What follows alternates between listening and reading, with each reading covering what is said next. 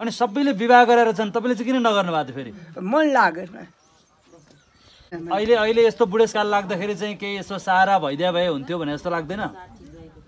चाहिएन अब दाँत फुल्या किन स्वानी चाहियो? त- तपाईँको त चार आँखा छ म त दुइटा आँखा असर देखिनँ असर चिने छैन मैले नि। आँखा त दुइटै मात्रै हो नि बा चारवटा कसरी हुन्छ र? अब राम्रै सम्झे राम्रै छ। नराम्रो सम्झे नराम्रै छ? नब्बे वर्षको अनुभव रहेछ नि तपाईँसँग। अहिले आनन्द छ। होइन खोइ अब हेर्दाखेरि राम्रै छ। कान त फुलेछ खोइ भगवान्ले बनाएको यो मैले बनाएको होइन। यस्तो रमाइलो हराभरा गाउँ छोडेर त्यो बनेपामा चाहिँ किन बस्नु भएको छ तपाईँ? आफूलाई इच्छा लाग्यो। इच्छा लाग्यो। अनि हाम्रो भतिजो पनि उहाँ बसेको छ। भतिजो बसेको हुनाले म बसेँ अनि ऊ बुहारी भक्तपुरमा बसेकी छन् ऊ उहाँ छन्। अनि सबैले विवाह गरेर छन् तपाईँले चाहिँ किन नगर्नु भएको थियो फेरि? मन लागेन। इच्छा लागेन। हो। अहिले अहिले यस्तो बुढेसकाल लाग्दाखेरि चाहिँ केही यसो सहारा भइदिया भए हुन्थ्यो भने जस्तो लाग्दैन? चाहिएन अब दाँत फुल्या छोरालाई किन स्वानी चाहियो?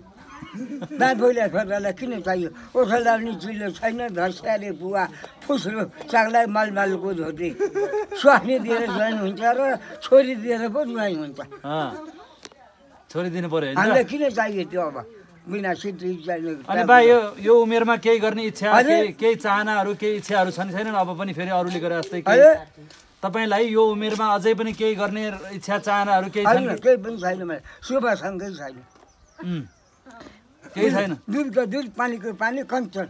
निर्मल अ, जस्तो खोला भएको त्यस्तो बिहा पनि गर्नु पर्दैन केही पनि गर्नु पर्दैन बेकारमा किन चाहियो बाजे बजाउनु परेन सनै झोलाको पनि चाहिएन। होइन? केही पनि चाहिएन। न छोरा एकै राजा बाह्र सोची बेथेको घरको त्यो नानु चोरको के को यो नदुखा टाउको दुखाउने नानु लाएर? होइन मियो भएन भने त फेरि दाई हुँदैन नि त। मियो चाहिने एउटा? हँ? मियो चाहियो नि मियो। मियो भने हामीलाई थाहा छैन। हामीले त जिरुको उठेर पाँच सालमा हामीले केही पनि गरेका छैन एउटा सुनकोनी मान्छे छैन. जिरोको उठेर नोकरी गर्न गयौँ अनि चालिस वर्ष नोकरी भयो पेन्सनको पत्ता देखिदियो बस्यौँ हामीलाई त्यसो मियो सम्मान छैन। दाँत भोलिया छोरालाई मियो किन चाहियो अब? मर्ने बेला हरियो काँक्रो किन चाहियो? कान त फुलेछन् ए ए बाको आयो त एकछिन पठाउँछ भनेको छ। हजुर कान त फुलेछन् खै ए बाको आयो लामो हुन्छ अझ। भगवान्ले बनाएको यो मैले बनाएको होइन। आमाले यसै कान भएको छोरा पाइन् के? मेरो यसै कान भएको छोरा पाउनु पर्ने अरू अरू पनि पाउनु पर्ने अरू त पाएनन्। म एउटा मात्रै। है? यसै कान भएको मान्छे अरू पनि पाउनु पर्ने के? दुई चारै जन्माउनु पर्ने।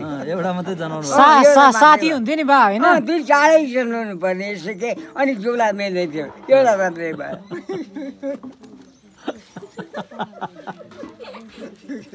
त्यो सम्झिँदा चाहिँ हाँस उठ्छ बालाई? एउटा मात्रै जन्माएछन् भन्दाखेरि भन्दाखेरि चाहिँ हाँस उठ्ने। ल ल बा ल रमाइलो पहिला घिउ खानु त घिउ खानुहुन्छ अँ। घिउ घिउ त खायो कति खानुभयो घिउ अँ, बाह्र पाउ। बाह्र पाउ। बाह्र पाउ। महिनाको एक पाउ। अहिले खानुहुन्छ कि खानुहुन्न घिउ अँ, अहिले पनि खाएर यहाँ तरकारीमा भातमा दिए। भातमा हालिदियो यति ल्याएर हालिदियो नि। दुध घिउ काइ त। ताली बज्यो यहाँ आएको बेलामा चाहिँ हो। उनीहरूले पकाएको भात खाने। अन्त गएर मैले चौरासी गरेँ। असी हजार रुपियाँ लाग्यो चौरासी गर्दाखेरि। आफ्नै चौरासी गरे आफैले। आफैले गरे बा? चौरासी गरेँ भने सत्तरी सालमा चौरासी गरेँ कहिले अनि? तपाईँ तपाईँ आफैले क्रिया पनि गर्नु पऱ्यो। आफ्नै भन्ने नि होइन। मैले हो। चौरासी गरेँ। चौरासी चाहिँ गरे? चौरासी गरेर क्रिया पनि गर्नु हुन्छ। गरुड पुराण हेर्नु न त्यो गरुड पुराणको किताब हेर्नु त तपाईँको त चार आँखा छ म त दुइटा आँखा असर देखिनँ असर चिने छैन मैले नि। तपाईँको त चस्मा भएको होइन आँखा त दुइटै मात्रै हो नि बा। चारवटा कसरी हुन्छ र? त्यसले त्यो गरुड पुराणको किताब हेर्नु त्यसले भन्छ. त्यहाँ के लेखाएको छ अनि मसित तपाईँले कुराहरू अहिले सवालको कुराहरू अगा- अगाडि नै अगाडि नै चाहिँ के अरे क्रिया गर्नु भनेको छ? होइन गर्नुहुन्छ।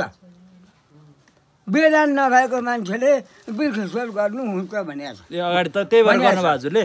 मेरो चाहिँ गर्न पाइएन मेरो चाहिँ एउटा कुरा के भयो भने अब तपाईँको हाम्रो यदि गफ भयो यदि कुराकानी गऱ्यौँ। सधैँभरि तपाईँको हाम्रो भेटघाट हुने। होइन। कि दैव सन्दैले हामी भेटघाट भयौँ गफ गऱ्यौँ हाम्रो सौभाग्य मरे पनि कति पऱ्यौँ हामी। अब मेरो चाहिँ के भयो भन्नुहुन्छ भने आफ्नो क्रिया पनि गर्ने सोच थियो मेरो। गर्न पाउनु भएन। अब त्यो कारणले भएन चौरासी गरेको हुनाले हुँदैन भन्ने बानी। त्यो सबै नष्ट हुन्छ तपाईँले बदी केदारमा गएर तर्पण दिएको पिना दिएको बाबुआमाको तिथि गरेको त्यो सबै नष्ट हुन्छ तपाईँले वृक्ष गर्नु चाहिँ हुँदैन अब। भने अनि लागेर बसे। अहिले आनन्द छ। होइन खोइ अब हेर्दाखेरि राम्रै छ। कस्तो लाग्छ? कति समयसम्म अझै धेरै नब्बे वर्ष त बाँचिसक्नुभयो? खोइ अब के केही पनि छैन आनन्दै जस्तो लाग्छ। रमाइलो छ। आनन्दै जस्तो लाग्छ। सौलो छ। अनि कहाँ कहाँ तीर्थ घुम्नुभयो त तपाईँ? म बद्री केदार गएँ चार पटक बद्री केदार गएँ गङ्गासागर गएँ रामेश्वर गएँ देवघाट गएँ बुद्धगया गएँ महेन्द्रनगर गएँ पोखरा गएँ गोर्खा गएँ गोसाइकुण्डा गएँ मनोकामना गएँ अँ, गोर्खा कालिकाको दर्शन गरेँ अनि पूर्व चाहिँ जनकपुर गएँ बिहा पञ्चायतमा। सबैतिर घुम्नुभएछ अनि तपाईँले जस्तो पन्ध्रवटा सरकारी जागिरै खाएँ भन्नुभयो पन्ध्र ठाउँमा? पन्ध्र ठाउँमा जागिर खाएँ भन्नुभयो नि? छ छ। तपाईँले जागिर पन्ध्र ठाउँमा खानुभयो भने होइन? होइन हो भने रमाइलो पुँजी छ भन्दैछु तपाईँ कुरै बोल्नु कालबाट छ नि कालबाट छ नि हेर्नुपर्छ सबभन्दा राम्रो चाहिँ के लाग्यो तपाईँलाई? सबै राम्रो लाग्यो नराम्रो केही पनि छैन। सबै सबै जागिर राम्रो।